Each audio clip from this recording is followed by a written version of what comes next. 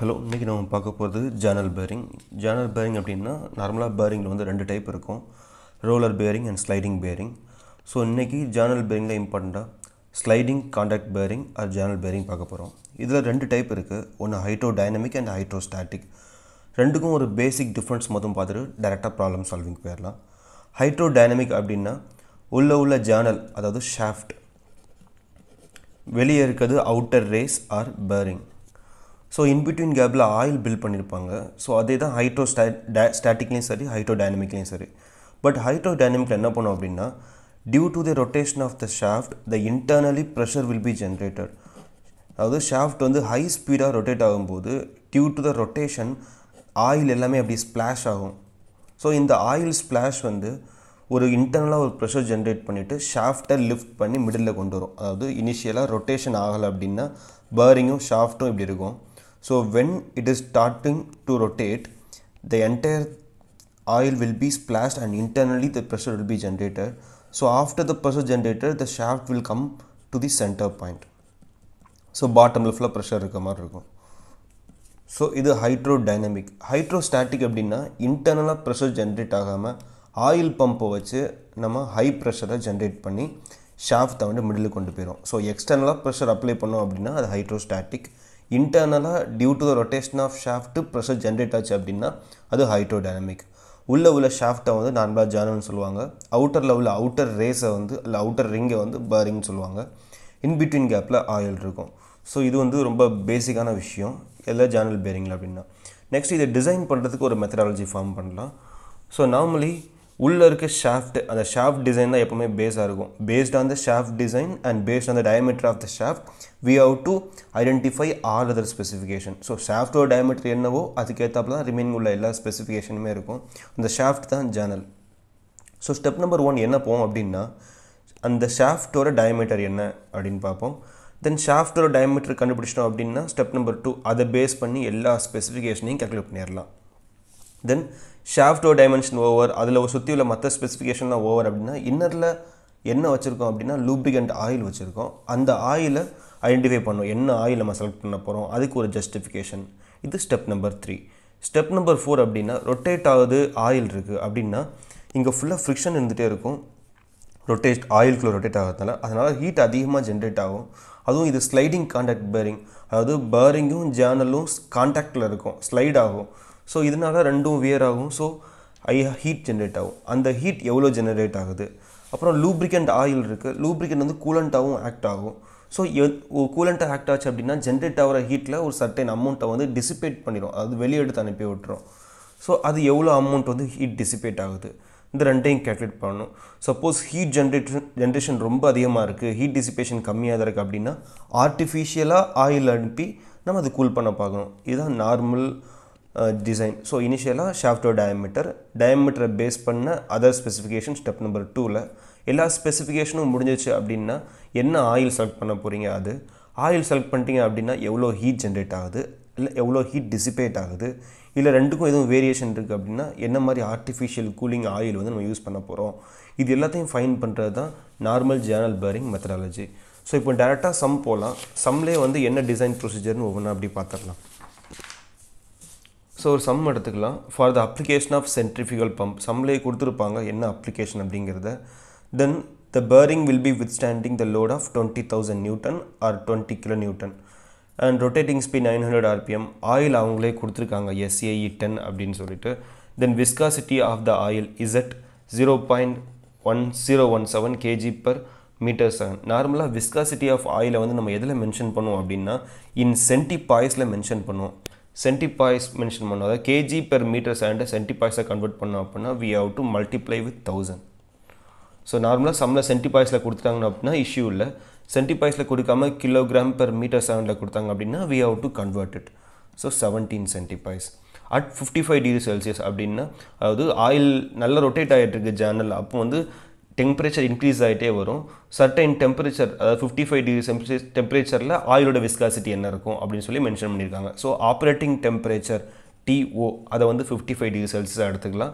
Z வந்து விஸ்காசிட்டியாக எடுத்துக்கலாம். தென் operation இல்லாத கண்டிஷனில் ஆயிலோட ஆம்பியன் டெம்பரேச்சர் அட்மாஸ்பியரிக் டெம்பரேச்சர் என்ன இருக்கும் அப்படின்னா ஃபிஃப்டீன் பாயிண்ட் ஃபைவ் டிகிரி செல்சியஸ்னு சொல்லியிருக்காங்க.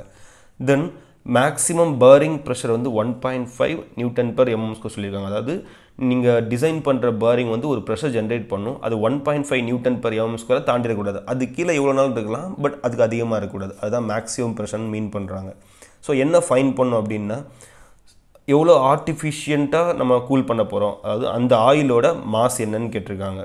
ஆக்சுவலாக ஒரு பேரிங்கை டிசைன் பண்ணுறோம் அப்படின்னா இனிஷியலாகவே மெத்தடாலஜி பார்த்தோம். Specification then oil then heat generation heat dissipation heat generation ரொம்ப அதிகமாக இருந்தால் மட்டும்தான். என்ன சொன்னோம் அப்படின்னா ஆர்டிஃபிஷியல் கூலிங் ஸோ இந்த சம்மில் என்ன கேட்டிருக்காங்க அப்படின்னா ஆர்டிஃபிஷியல் கூலிங் தான் கேட்டிருக்காங்க. ஆர்டிஃபிஷியல் கூலிங்னா ஆட்டோமேட்டிக்காக நம்ம ஹீட் ஜென்ரேஷன் ஹீட் டிசிபேஷன் ரெண்டுமே வந்து கேல்குலேட் பண்ண வேண்டியது இருக்கும். ஸோ அதுக்கு ஆயில் செலெக்ஷன் வேணும் அதர் ஸ்பெசிஃபிகேஷன் வேணும் ஜேனல் டயமீட்டர் வேணும். So we have to go with step number 1 2 3 4 5 then obviously we can calculate artificial cooling oil. So okay இப்போ ஒவ்வொரு ஸ்டெப்பாக அப்படி பார்த்துட்டே வரலாம். ஸ்டெப் நம்பர் ஒன் என்ன அப்படின்னு பார்த்தா design of journal design of ஜேர்னலாக ஒன்றும் இல்லை சென்டரில் உள்ள ஷாஃப்ட்டு தான். ஷாஃப்ட்டுக்கு எப்போவுமே ஒரே ஒரு ஸ்பெசிஃபிகேஷன் தான். நம்ம நார்மலாக ஷாஃப்ட் டிசைன்லேயே பார்த்துருப்போம். அது டயமீட்டர் டயமீட்டர் நார்மலாக எப்படி கால்குலேட் பண்ணுவோம் அப்படின்னா அதுக்கு வந்து த்ரீ கண்டிஷன் சொல்லியிருக்கேன். அதாவது டிசைன் ஆஃப் ஜேனலில் ஃபஸ்ட்டு ஒன்று டயமீட்டர் கொடுத்துருந்தாங்க அப்படின்னா என்ன வேல்யூ கொடுத்துருக்காங்களோ அதை டேரெக்டாக அப்படியே எடுத்துக்கிறது. So we need not to calculate in diameter and second case diameter தராமல் பவர் கொடுத்துருந்தாங்க அப்படின்னா power two pi N T by sixty அது வாட்ஸில் இருக்கும். அதுலேருந்து டார்க் எடுத்துக்கலாம். அதாவது பவரும் ஸ்பீடும் கொடுத்துருப்பாங்க. அதுலேருந்து டார்க் எடுத்துக்கலாம். அது நியூட்டன் மீட்டரில் வரும். Then T is equal to pi by sixteen tau D cube டூங்கிறது ஷாஃப்ட்டை வந்து சி ஃபார்ட்டி ஸ்டீல்னு அசியூம் பண்ணிக்கலாம். C forty ஸ்டீலோட ultimate strength value page number one point நைனில் இருக்கும். PST data book and tau U is equal to point five times of sigma U one sigma U வந்து இந்த பேஜ்லேருந்து எடுத்துட்டோம் அப்படின்னா அதுலேருந்து டோ யூ கேல்குலேட் பண்ணிடலாம். Then working stress tau is equal to tau U by factor of safety factor of safety ஒரு two or three assume பண்ணிட்டோம் அப்படின்னா உங்களுக்கு டோ கிடச்சிரும். ஸோ டோ கிடச்சிரும். டி ஆல்ரெடி கேல்குலேட் பண்ணியிருப்பீங்க அதுலேருந்து டயமீட்டர் கேல்குலேட் பண்ணிக்கலாம். இது செகண்ட் வே அதாவது டயமீட்டர் கொடுத்துருந்தாங்க அப்படின்னா டேரெக்டாக அந்த டயமீட்டர் எடுத்துக்கணும். அப்படி கொடுக்கல பவர் ஸ்பீடு தான் கொடுத்துருக்காங்க அப்படின்னா டார்க் கண்டுபிடிச்சி தென் டார்க் ஃபார்முலாலேருந்து டயமீட்டர் கேல்குலேட் பண்ணிக்கணும் இது செகண்ட் வே தேர்ட் வே பவரும் தரல டயமீட்டரும் தரல அப்படின்னா for journal bearing and for medium duty condition we can assume that hundred to one fifty MM medium duty கண்டிஷனா twenty kilo newton thirty kilo newton fifty kilo newton இந்த மாதிரி அமௌண்ட்டில் லோட் இருக்குது அதாவது less than hundred kilo newtons அப்படின்னா அதை medium டியூட்டின்னு consider பண்ணிக்கலாம். More than hundred kilo நியூட்டனை ஹெவி டியூட்டின்னு கன்சிடர் பண்ணிக்கலாம். ஸோ மேக்ஸிமம் நமக்கு வந்து நம்ம சம்பளம் கொடுத்துருக்க டுவெண்ட்டி கிலோ நியூட்டன் தான். நார்மலாக மீடியம் டியூட்டி கண்டிஷன் தான் ப்ராப்ளமில் இருக்கும். ஏன்னா சென்ட்ரிஃபியூல் பம்புங்கிறது நார்மல் மீடியம் டியூட்டி தான். ஹெவி மிஷின்ஸ்லாம் இல்லை. ஸோ அதில் வந்து மீடியம் டியூட்டிக்கு ஹண்ட்ரட்லேருந்து ஒன் ஃபிஃப்டிக்குள்ளே எந்த டயமீட்டர்லாம் எடுத்துக்கலாம். ஸோ நோ இஷ்யூஸ் எப்போ அப்படின்னா பவரும் கொடுக்கல டயமீட்டரும் கொடுக்கலங்கிற ஒரு கண்டிஷனில் மட்டும்தான் நம்ம அசியூம் பண்ண முடியும். இது ஸ்டெப் நம்பர் ஒன் இப்போ நம்ம சம்முக்கு வரலாம். சம்மில் வந்து என்ன கொடுத்துருக்காங்க அப்படின்னா எந்த ஒரு டீட்டெயிலையும் வந்து தெளிவாக தரவே இல்லை. ஜேர்னலை பற்றி அவங்க கண் ரொட்டேஷனல் ஸ்பீடு ஆயில் விஸ்காசிட்டி கொடுத்துருக்காங்க. ஸோ டயமீட்டரும் தரல பவரும் தரல.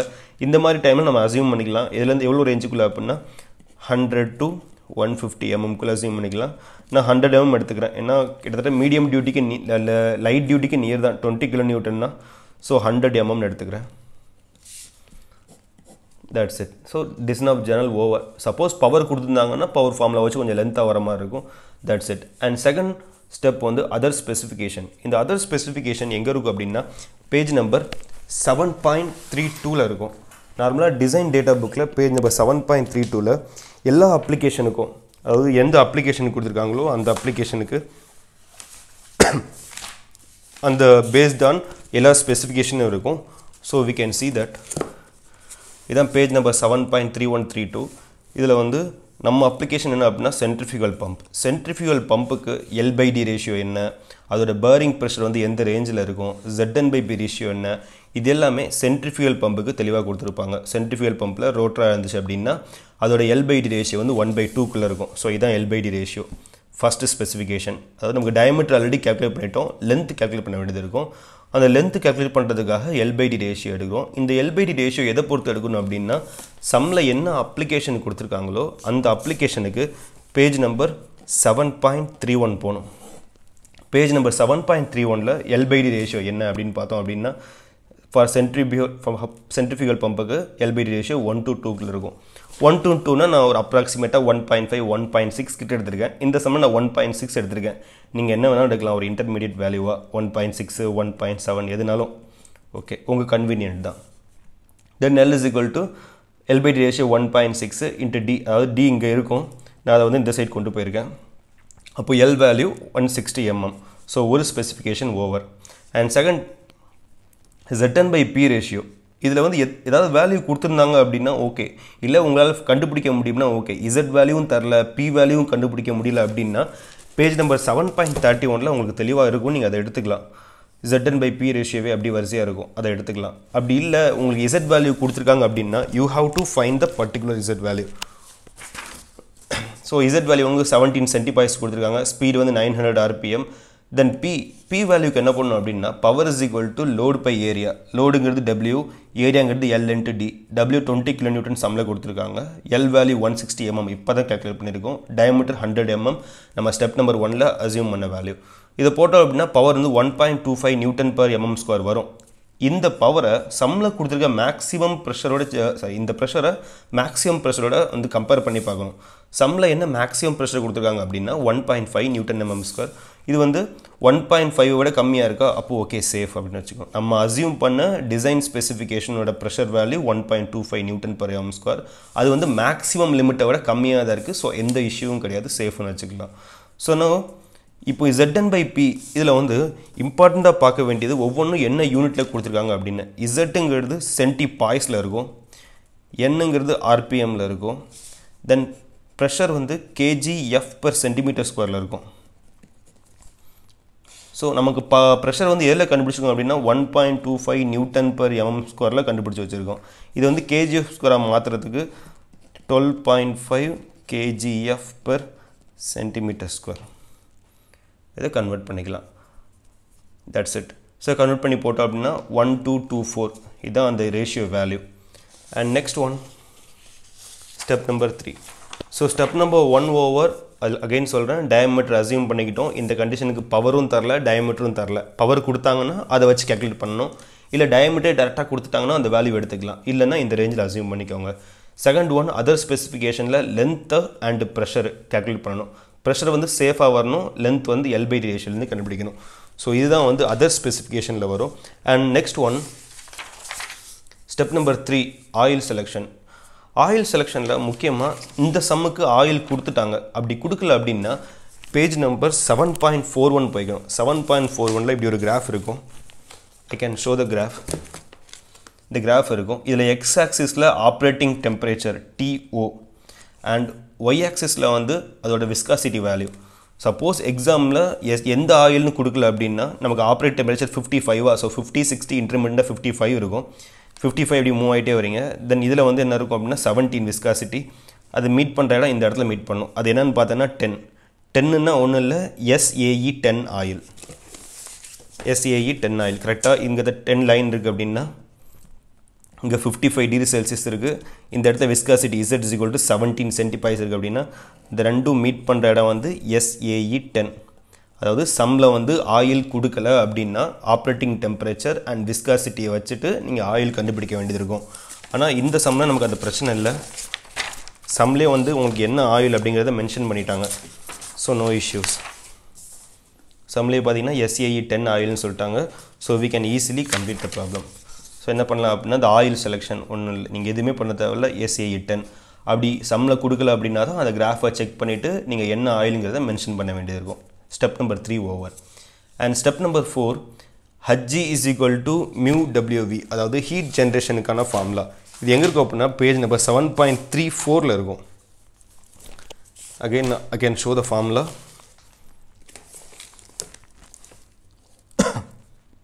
H g heat generation page number seven point three ஃபோரில் இந்த இடத்துல இருக்கும். Mu W V. அந்த ஃபார்முலா தான் எழுதியிருக்கேன். Mu W V. ஆக்சுவலாக then மியூவுக்கான formula same page number seven point three ஃபோர்லேயே இருக்கும். மெக்கீஸ் ஈக்குவேஷனில் மெக்கீஸ் ஈக்குவேஷனில் மியூக்கான formula so that is thirty three point two five divide by ten power ten Z N by P D by C plus K so இதுதான் normal formula then டபிள்யூங்கிறது given value twenty newton விங்கிறது pi D N by sixty இந்த மூணையும் solve பண்ணி இதில் substitute பண்ணிட்டோம் அப்படின்னா heat generation கிடச்சிரும். So மியூவோட ஃபார்முலாவை மட்டும் எடுத்துக்கலாம். இதெல்லாம் நியூமரிக்கல் வேல்யூ இசட் எதில் இருக்கணும் அப்படின்னா சென்டிபாய்ஸில் இருக்கணும். என் எதில் இருக்கணும் அப்படின்னா ஆர்பிஎம்மில் இருக்கணும். பி கேஜிஎஃப் பர் சென்டிமீட்டர் ஸ்கொயரில் இருக்கணும். Then D mm then C mm so D okay Z N okay and P okay அது என்ன சி அண்ட் கே இந்த ரெண்டு டேர்ம் புதுசாக வருது. சி அப்படின்னா கிளியரன்ஸ் ஸோ இந்த கிளியரன்ஸ் எங்கே இருக்கும் அப்படின்னா page number seven point three two three டூவில் இருக்கும். செவன் பாயிண்ட் த்ரீ டூ எடுத்து செக் பண்ண அப்படின்னா I can show that page so இந்த மாதிரி ஒரு டேபிள் காலம் இருக்கும். மேலே வந்து உங்களோட டயமீட்டர் டயமீட்டருக்கு உங்கள் அப்ளிகேஷன் பேஸ்டாக என்ன கிளியரன்ஸ் இருக்கும். ஸோ ஆக்சுவலாக கிளியரன்ஸ் வந்து மைக்ரான்ஸில் கொடுத்துருக்காங்க. மைக்ரான்ஸ் அப்படின்னா ten power minus six metre ஓகேவா அண்ட் டயமீட்டர் எம்எம் கொடுத்துருக்காங்க. நம்ம டயமீட்டர் என்ன அப்படின்னா அரௌண்ட் ஹண்ட்ரட் அதாவது நைன்ட்டிக்கு நியராக ஓகே நம்ம நைன்டீன் அப்ராக்சிமேட்டாக எடுத்துக்கலாம். தென் சென்ட்ரிஃபியூகல் பம்ப் அப்ளிகேஷன் இருக்கான்னு பார்க்கணும். அப்படி இல்லை அப்படின்னா ஜென்ரல் மிஷின் எடுத்துக்கலாம். உங்களுக்கு கொடுத்த அப்ளிகேஷன் டேரெக்டாக அங்கே இருந்துச்சு அப்படின்னா அதை எடுத்துக்கோங்க. அப்படி இல்லை அப்படின்னா ஜென்ரல் மிஷின் ப்ராக்டிஸ் அப்படின்னு எடுத்துக்கிட்டு அதில் வந்து நைன்ட்டிக்கு நேராக பார்த்தீங்கன்னா ஹண்ட்ரட்லேருந்து ஒன் செவன்ட்டி ஃபைவ்க்குள்ளே அசியூம் பண்ணிக்கலாம். அதாவது hundred microns to one seventy five microns ஏதோ ஒரு வேல்யூ எடுத்துக்கலாம் அப்படின்னு மென்ஷன் பண்ணியிருக்காங்க. நான் ஜஸ்ட் ஹண்ட்ரட் மைக்ரான்ஸ் எடுத்துக்கிறேன். So C is equal to hundred microns so hundred microns அப்படிங்கிறது மீட்டரில் கன்வெர்ட் பண்ணோம் அப்படின்னா hundred into ten power minus six metre நமக்கு எம்எம்மில் தேவையா? So C is equal to hundred into ten power minus three mm so மீட்டரில் தான் வந்து டென் பவர் மைனஸ் சிக்ஸு எம்எம்னா நமக்கு என்ன தேவை அப்படின்னா மைனஸ் த்ரீ இதை சப்ஸ்டியூட் பண்ணுறோம் அப்படின்னா hundred into ten power minus three substitute பண்ணியாச்சு. அப்புறம் கேங்கிறது என்ன அப்படின்னு பார்த்தா கேங்கிறது செவன் பாயிண்ட் த்ரீ ஃபோர்லேயே ஒரு கிராஃப் இருக்கும். இந்த கிராஃபை செக் பண்ணோம் அப்படின்னா L by D ratio Y ஆக்சிஸில் K value இன்பிட்னு ஒரு கிராஃப் கொடுத்துருக்காங்க. நம்ம எல் பை டி என்ன அசியூம் பண்ணோம் அப்படின்னா around one point six assume பண்ணோம். ஒன் பாயிண்ட் சிக்ஸில் கிராஃப் எங்கே டச் ஆகுதுன்னா அரௌண்ட் இது வந்து பாயிண்ட் ஜீரோ ஜீரோ ஃபைவ் அப்போ இந்த லைன் வந்து பாயிண்ட் ஜீரோ ஜீரோ டூ ஃபைவாக இருக்கும். கொஞ்சம் கீழே அப்படின்னா பாயிண்ட் ஜீரோ ஜீரோ டூவாக இருக்கும். So point zero zero two அந்த கிராஃப்லேருந்து பேஜ் நம்பர் எதில் இருக்குது அப்படின்னா பேஜ் செவன் பாயிண்ட் த்ரீ ஃபோரில் இருக்குது so page number seven point three ஃபோர்லேருந்து K value page number seven point three டூலேருந்து C value D value step number ஒன்லேயே calculate பண்ணியிருப்பீங்க and Z N and P value step number டூவில் calculate பண்ணியிருப்பீங்க இதெல்லாம் substitute பண்ணிட்டோம் அப்படின்னா உங்களுக்கு மியூ வேல்யூ கிடச்சிரும். Mu வந்து நமக்கு என்ன கிடைக்குது அப்படின்னா இந்த வேல்யூக்கு zero point zero zero six one கிடைக்குது. Then W given load value twenty thousand newton then V விங்கிறது velocity pi D N by sixty that should be in metre per second so by டிங்கிறது மீட்டரில் இருக்கணும். Diameter hundred MM மீட்டரில் மாற்றின அப்படின்னா hundred into ten power minus three metre speed nine hundred RPM இது மீட்டரில் இருக்குது so மாற்றினேன் அப்படின்னா எனக்கு வந்து four point seven one metre per second கிடைக்குது. ஸோ அதை ஹஜ்ஜி வேல்யூவில் சப்ஸ்டியூட் பண்ணுற அப்படின்னா that mu value W value in newton and then velocity value in metre per second substitute பண்ண அப்படின்னா எனக்கு five seventy four point six two watts கிடைக்குது.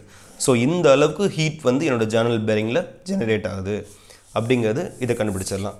So next step வந்து என்ன அப்படின்னு பார்த்தோம் அப்படின்னா heat dissipation value so heat டிசிபேஷனுக்கு formula வந்து பேஜில் இல்லை. இது வந்து நார்மலாக நம்ம ஹீட் ட்ரான்ஸ்ஃபரில் படிச்சிருப்போம். Heat transfer due to convection அப்படின்னு வந்து ஹைச்ஏ டெல்டி அப்படின்னு.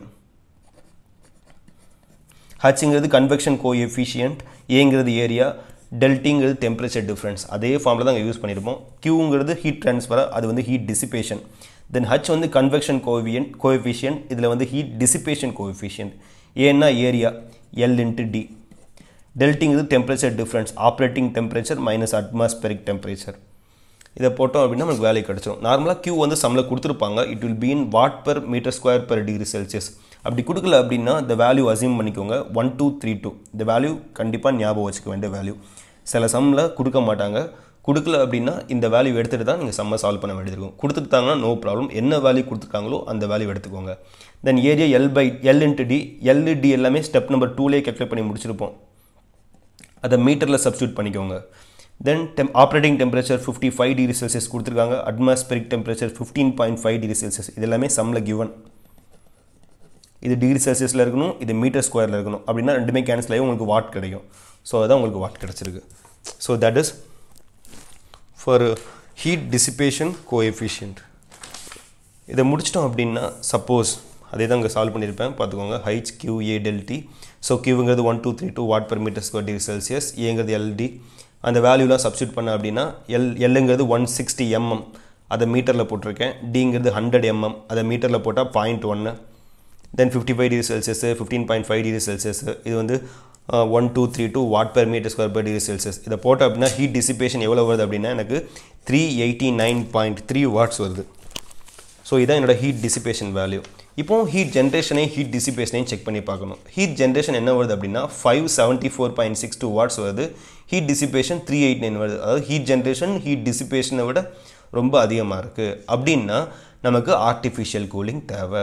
ஸோ எவ்வளோ அதிகமாக இருக்குதுன்னு பார்த்தோம் அப்படின்னா difference so five seventy four point six two minus three eighty nine point three இது டிஃப்ரெண்ட் எவ்வளோ வருதுன்னா one eighty five point three watts வருது. So one eighty five point three watts வந்து எக்ஸ்ட்ரா ஹீட் வந்து இந்த மிஷின் பேரிங் மேலே இருக்குது அதை நம்ம ஆர்டிஃபிஷியலாக ஆயில் அனுப்பி கூல் பண்ண போகிறோம் அதோட மாஸ் என்ன அப்படிங்கிறத கேல்குலேட் பண்ண போகிறோம் ஸோ எவ்வளோ ஹீட் வந்து ரிமைனிங் இருக்குது HG minus HD that is equal to MCP temperature rise இதுதான் வந்து என்ன அப்படின்னா mass of oil கண்டுபிடிக்கிறதுக்கான formula Q is equal to MCP del T rise சிபிங்கிறது specific heat of oil மாஸுங்கிறது மாஸ் ஆஃப் ஆயில் டெம்பரேச்சர் ரைஸுங்கிறது ஆயிலை pass பண்ணுறோம்ல bearing உள்ள. அப்போ நார்மலாக அந்த ஆயில் ஒரு டெம்பரேச்சரில் இருக்கும். உள்ளே பாஸ் பண்ணி வெளியே வரும்போது அந்த டெம்பரேச்சர் எவ்வளோ ரைஸ் ஆகிருக்கு அதை சொல்கிறது ஸோ இதுதான் அந்த ஹாயில் மாஸ் கண்டுபிடிக்கிறதுக்கான ஃபார்முலா இதில் மாஸ் மட்டும் அன்னோனாக இருக்கும். And specific heat of oil வந்து எந்த ரேஞ்சில் இருக்கும் அப்படின்னா ஒன் எயிட் ஃபோர் ஜீரோலேருந்து டூ தௌசண்ட் ஹண்ட்ரட் வரைக்கும் இருக்கும். இது சம்மில் கொடுத்துருப்பாங்க. அப்படி இல்லைனா இந்த வேல்யூ அசியூம் பண்ண வேண்டியிருக்கும். ஸோ சிபி வேல்யூவும் தென் மேலே heat dissipation coefficient value Q வேல்யூவும் சம்மில் தரல அப்படின்னா அதை அசியூம் பண்ண வேண்டியது இருக்கும் so be careful in that values இதை போட்டோம் அப்படின்னா உங்களுக்கு மாஸ் வந்து இன் டேர்ம்ஸ் ஆஃப் கிலோகிராமில் கிடைக்கும். கிலோகிராம் பெர் செகண்டில் அது கிலோகிராம் பெர் மினிட்ல மாற்றிக்கலாம் இதுதான் வந்து mass flow rate of the particular oil so that's it for the design of journal bearing so again I can recall it design of journal பேரிங்கில் நம்ம என்ன பண்ணுவோம் அப்படின்னா ஃபஸ்ட்டு ஜேர்னல் டயமீட்டர் கண்டுபிடிப்போம் then other specification then oil selection heat generation heat dissipation ரெண்டுக்கும் ஏதாவது deviation இருக்குது அப்படின்னா artificial cooling வந்து நம்ம கேல்குலேட் பண்ணுவோம். இதுதான் வந்து நார்மலாக நம்ம இந்த சம்மில் பண்ண வேண்டியது. ஸோ அகைன் அந்த சம்மை ஒன் டைம் உங்களுக்கு ஷோ பண்ணுறேன் இல்லை ஷோ பண்ணுற அப்படின்னா இந்த சம்மில் ஸ்டெப் நம்பர் ஒனில் டயமீட்டர் அசியூம் பண்ணியிருப்போம் ஸ்டெப் நம்பர் டூவில் ரிமைனிங் ஸ்பெசிஃபிகேஷன் எல்லாம் கேல்குலேட் பண்ணி முடிச்சிருப்போம். அதே டைமில் அதில் ப்ரெஷர் செக் பண்ணி சேஃபாக இல்லையான்னு சொல்லியிருப்போம் இது ஸ்டெப் நம்பர் டூவில் வரும். தென் ஸ்டெப் நம்பர் த்ரீல ஆயில் செலெக்ஷன் சம்மில் கொடுத்துருந்தாங்கன்னா அந்த ஆயில் எடுத்துக்கோங்க. இல்லை அப்படின்னா page number seven point four one போனீங்க அப்படின்னா அந்த ஆயில் செலெக்ஷன் கிராஃப் இருக்கும். அப்புறம் ஹீட் ஜென்ரேஷன் ஃபார்முலாவில் உள்ள எல்லாத்தையும் சப்ஸ்டியூட் பண்ணிவிட்டு இன் வாட்ஸில் அந்த வேல்யூ எடுத்துக்கோங்க. அப்புறம் ஹீட் டிசிபேஷன்லையும் நம்ம ஹீட் கன்வெக்ஷனுக்கான ஃபார்முலாவில் எடுத்துகிட்டு உங்களுக்கு ஆன்சர் வந்து வாட்ஸில் எடுத்துக்கோங்க. அண்ட் நெக்ஸ்ட் ஒன் ரெண்டுக்கும் ஏதாவது டிஃப்ரென்ஸ் இருந்துச்சு அப்படின்னா எவ்வளோ artificial cooling oil generate பண்ணுறீங்கிறதுக்கு Q is equal to MCP del T rise formula போட்டிங்க அப்படின்னா அதில் மாஸ் மட்டும் ஒன்றா இருக்கும். We can give the mass அப்புறம் டெம்பரேச்சர் ரைஸ்னால் என்ன அப்படின்னு கேட்கலாம். நார்மலாக இது வந்து சம்லேயே மென்ஷன் பண்ணிடுவாங்க. இந்த சம்மில் என்ன கேட்டுக்காங்க அப்படின்னா to find mass of the lubricant oil required for artificial கூலிங்கில் temperature rises ten degree Celsius and heat dissipation coefficient one two three டூன்னு சொல்லியிருக்காங்க. டெம்பரேச்சர் ரைஸ்ன்னு மென்ஷன் பண்ணியிருப்பாங்க. இது டெம்பரேச்சர் டிஃப்ரென்ஸ் கிடையாது. இந்த இடத்துல fifty five minus fifteen point ஃபைவ்னு போடக்கூடாது. அது வந்து ஹீட் டிசிபேஷனுக்கான டிஃப்ரென்ஸ் தான் அது. ஆர்டிஃபிஷியல் கூலிங்க்கு டெம்பரேச்சர் ரைஸ் வேல்யூ தான் சப்ஸ்டிட் பண்ணணும். And get the answer thank you